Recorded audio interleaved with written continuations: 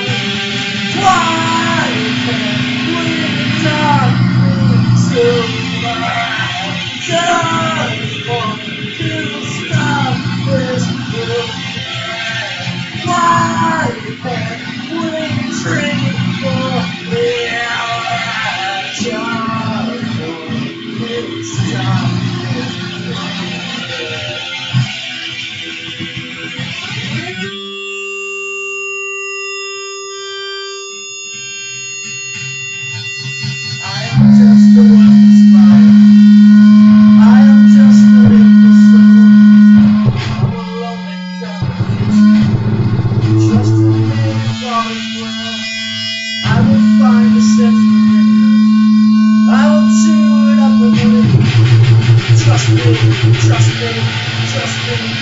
me, trust me, trust me.